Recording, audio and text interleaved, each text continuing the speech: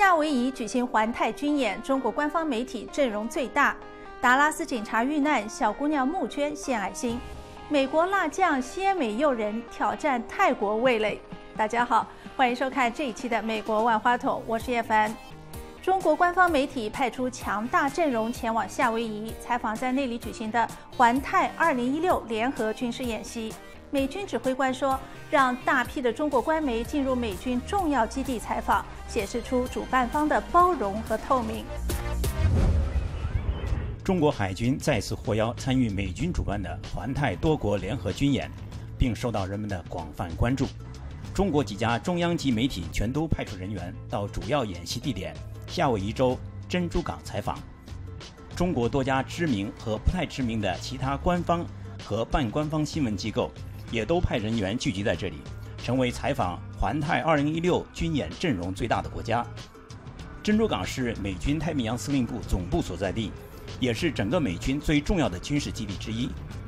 尽管进出珍珠港联合美军基地一般都受到严格管控，但是在挤满了中国媒体话筒的讲台后，致演习开幕词的美军太平洋舰队司令斯威夫特上将说：“让这么多家媒体来采访。”体现了环太联合军演的包容和透明。他说：“我想感谢大家来到这里，最重要的是感谢媒体。包容的一个要素是透明。”来自二十六个国家的四十多艘军舰正聚集在珍珠港，出席两年一度的环太联合军演。此前只参与过一次的中国，这次派出了五艘军舰参与，成为参与规模最大的国家之一。中国方面计划向受邀团体和个人以及媒体开放参观其中两艘军舰。在达拉斯警察遭遇伏击后，一群小女孩把辛酸变成酸甜的柠檬水，为殉职的警官和家人募捐。达拉斯社区的这些小女孩们在路边摆起冷饮摊，出售柠檬水，为在七月七号袭击中遇难的警官家庭募捐。他们的用心没有白费。半天时间，他们出售的冷饮、布朗尼和饼干的所得，加上当地教堂和邻居的慷慨解囊，共筹集到四千美元。我们为所有的警察和警察家人感到痛心，所以我们决定出售柠檬水，为他们筹款。人们对我们表示感激，让我很高兴。当很多顾客得知这些女孩是在筹款时，他们付出的钱远远高出标价。邻居们说，他们非常乐意支持这个行动。我太太看到了柠檬水摊位，我们就决定回来买饮料，支持那些穿蓝制服的小伙子。还有人说，在达拉斯黑暗的时刻，孩子们的行动让大家看到了未来的希望。在暑假期间，很多美国学生都找机会参加社会活动。也有一些学生打算在学业上加把劲，补补课。在华盛顿市区一所公立学校的暑期数学课上，拉美裔和非洲裔的初中生迎来了一批华裔学生助教。正在通过电脑教程学习数学的是哥伦比亚特区国际学校的一些六到八年级的学生。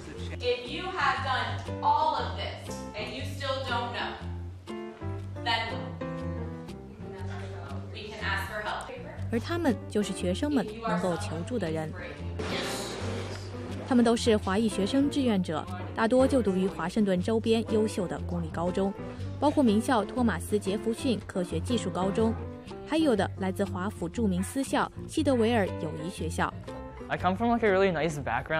我的学习背景比较好，我想了解条件不太好的孩子他们的教育是怎么样的，我想知道怎么能帮助他们。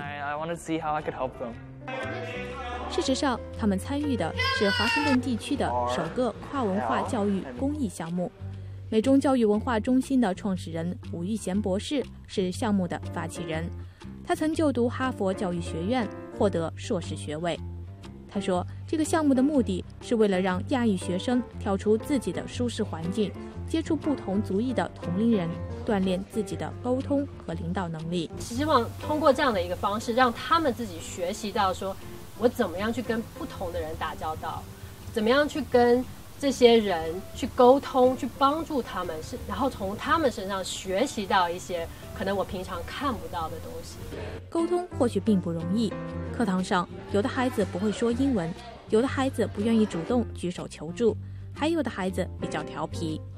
刚来美国一年，秋季将升入高中的段一新说：“耐心是最为重要的。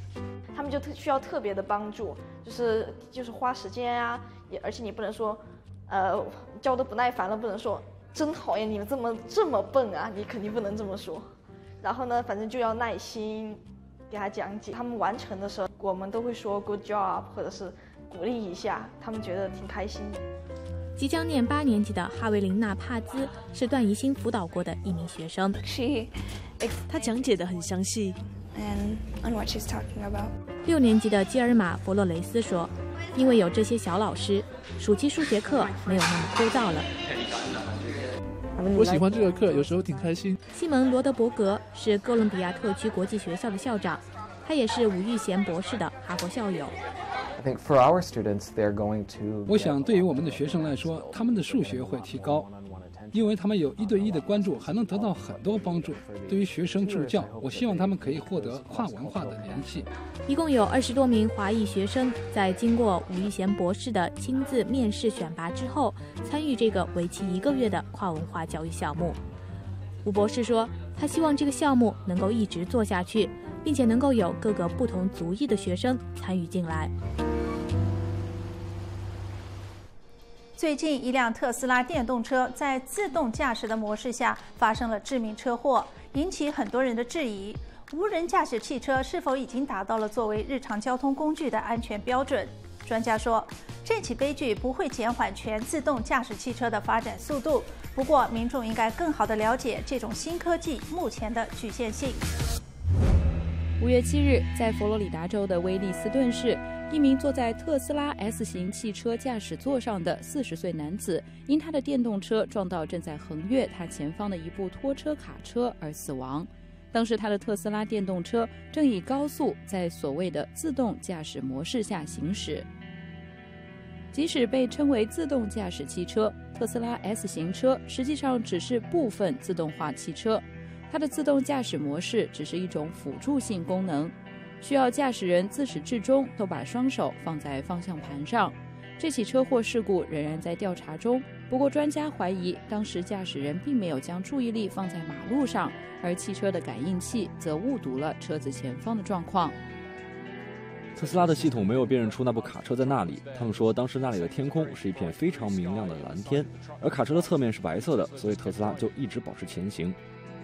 专家说，制造商应该更清楚地告知驾驶人。关于全自动驾驶和部分自动驾驶车的区别，我认为对于这些具有部分自动驾驶功能的汽车制造商，他们有责任了解，人类驾驶者几乎马上就会心不在焉。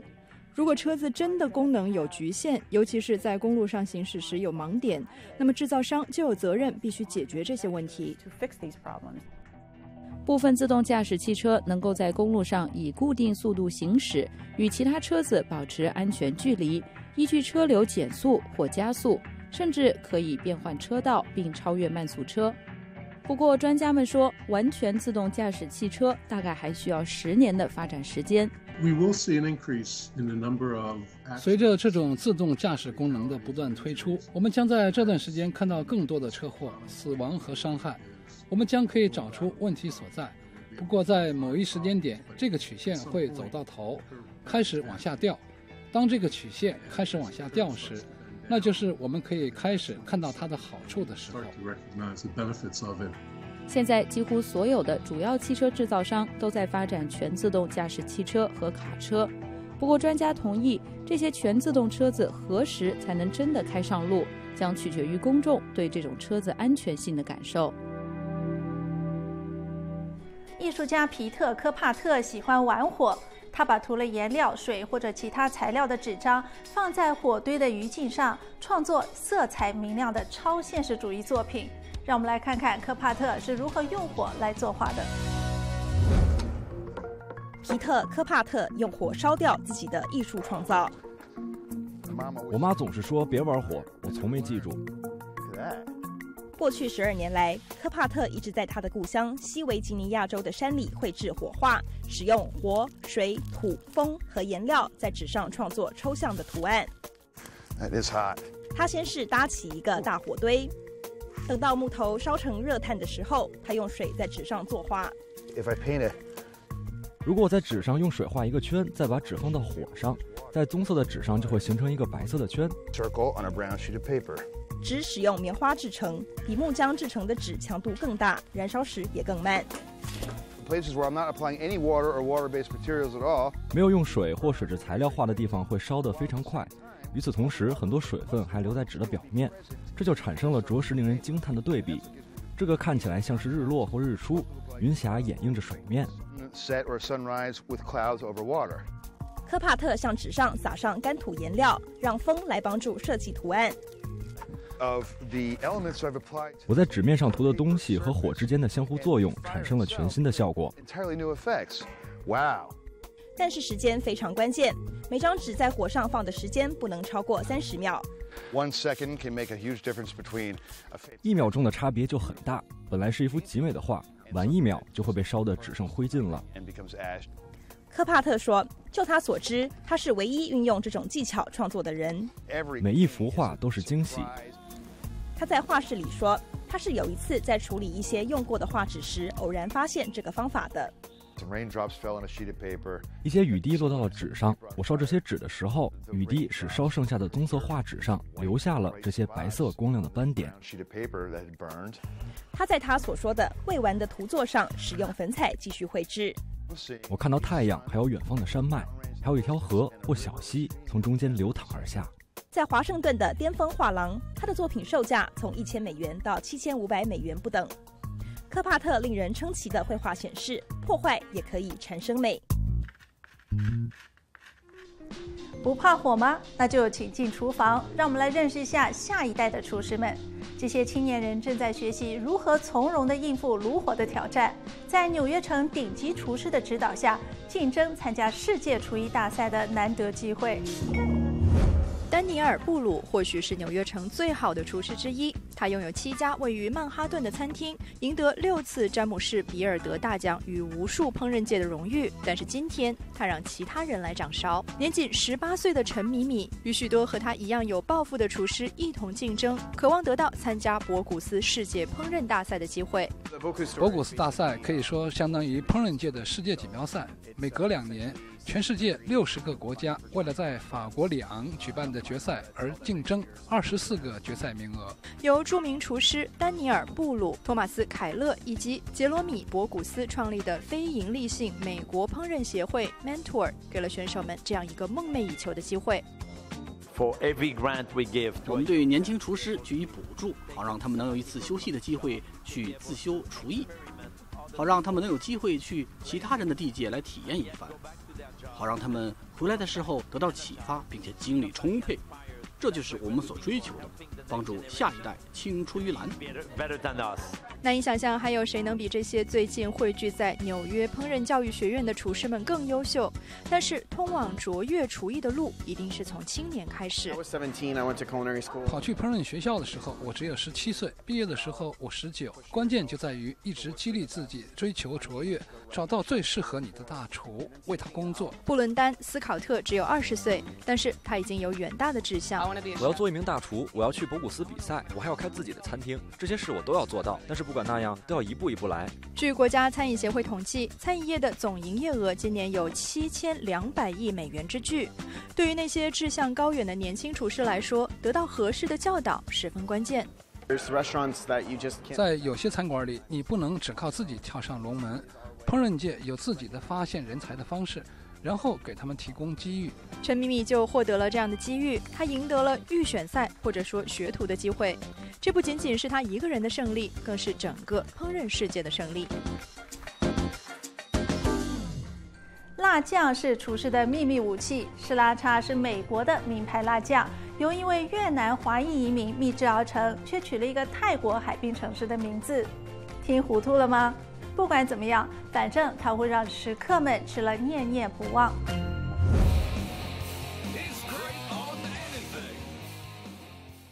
对于大多数美国人来说，Sriracha 香甜辣椒酱有一种让人迷恋、近乎上瘾的味道。还有 Sriracha 酱的烹饪书，这种红色的辣椒酱还被写进了歌曲。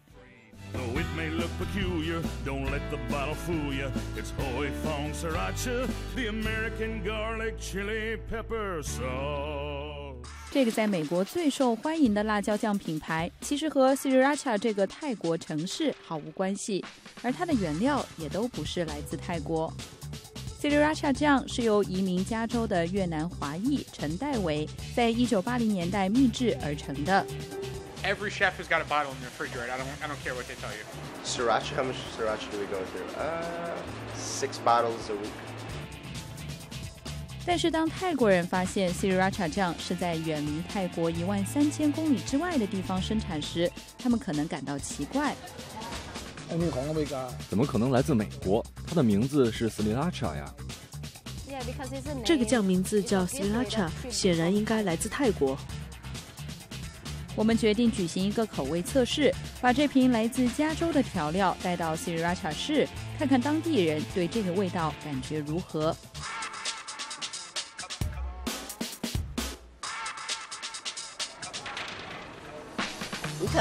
美国的斯里拉茶酱更咸更辣，而泰国的酱更偏酸甜。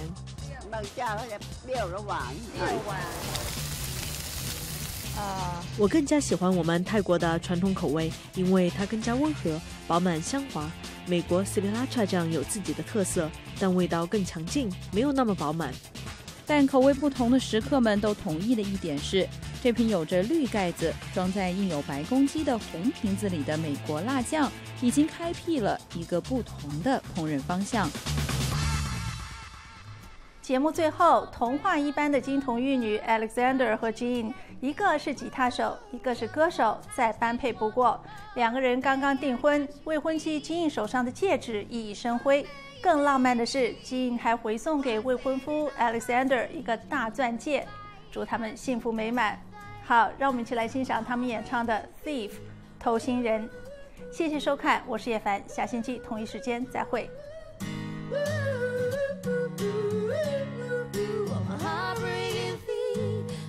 And go if you think you can escape. But my claws are in too deep to get away. You're in control, at least that's what you'll say. We both tell the story different. You were mine from the beginning. Hunt your prey